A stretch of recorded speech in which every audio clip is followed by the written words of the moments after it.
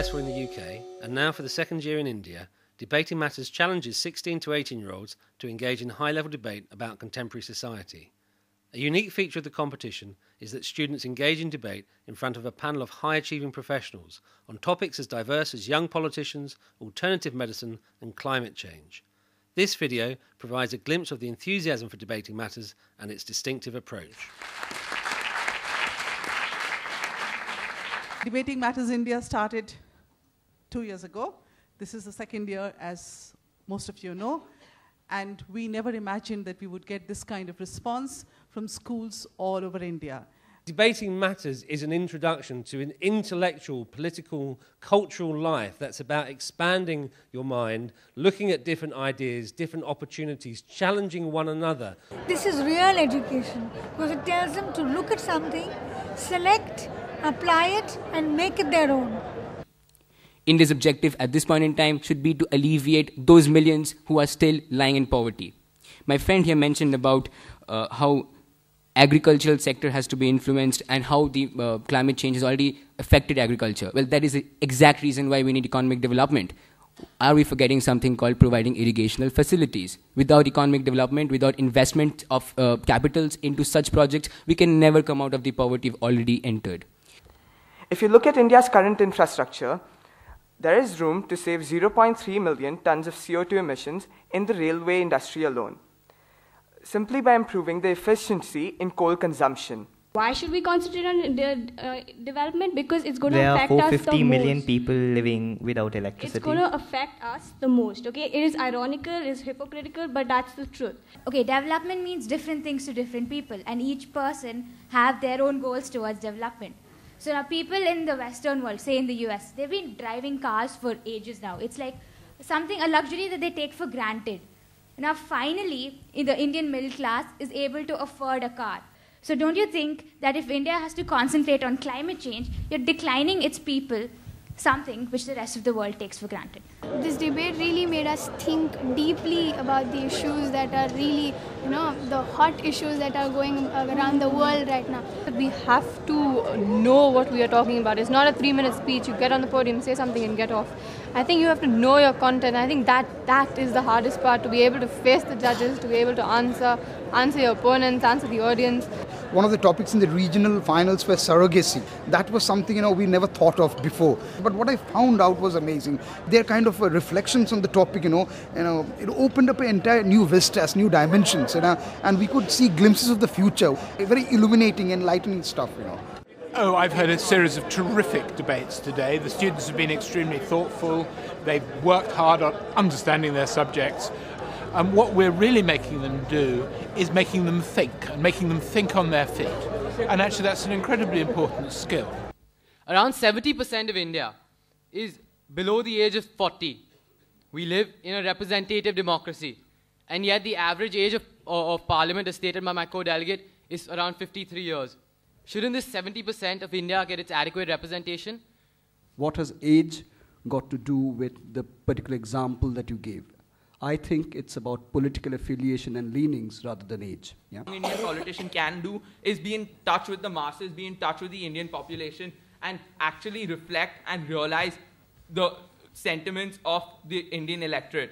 Uh, it's important that you have a number of younger people to, to reflect. Well, you're just saying the same thing again. India also has a rather large female population. I believe it's 50%. It's likely to be. So, you're, so wh- why not make the Okay, same um, argument? The, the similarity between the causes is that yes, they have a lower representation in our parliament. Yet the, the issue of women not being there is more a social issue than a political issue in this case. Um, Really? The, the, yeah, because um, women as yet in our country are not empowered. Debating Matters is a fantastic vehicle uh, for us to work uh, with the, the next generation of, uh, of leaders uh, coming up in India. Part about the experience is that people take us seriously here. Adults talk to us as if we are, you know, as experienced with the topics as they are. And we really like that. We're used to being treated like kids in school. So it's, it's a big change for us. And the people judging us are the best in their field. We have editors from newspapers and we have doctors, we have lawyers, we have like the best people from all over the country judging what we have to say. I think the difference between Debating Matters and my time is that Debating Matters really takes the subject outwards. It opens the speaker up to accepting other people's point of views, which we were not expected to do.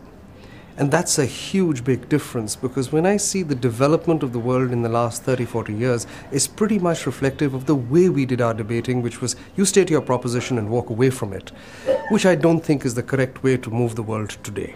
And the quality of the thought of the young people was quite amazing. Actually, being a judge on debating matters was one of the most difficult experiences of my life.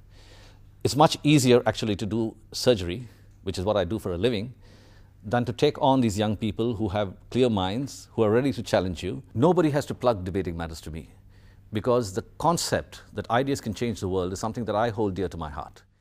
This is a very important debate. It's the final debate of year two of Debating Matters India. The sum of all indigenous knowledge from distant cultures from all over the globe, compiled over a span of thousands of years, is what alternative medicine is all about. The conventional medicines, which came much later, have become part of mainstream medicines with acceptance worldwide, since it has been able to produce consistent, measurable, and predictable results over a larger period of time, whereas alternative medicine has failed to do so. When you speak about alternate systems, you should do a little more research into it. For example, the government of India has set up a department, a separate department called Ayush, and uh, this Ayush department is for Ayurveda, Yoga, Unani, Siddha, Yoga, and Naturopathy. I would say that uh, they had some very strong arguments, but and were very nimble in returning, replying to the opposite side, but they seem to lack conviction at some times about the strength of their case.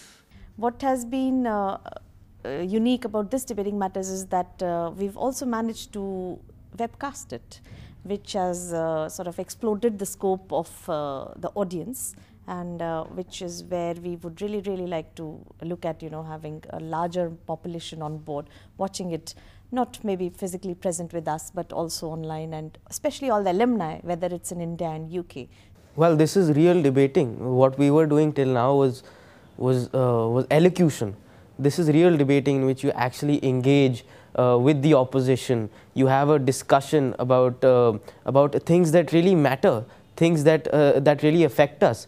I want to thank all of you in this room who've participated, and of course you are the tip of the pyramid because this is a competition that's gone throughout Indian schools.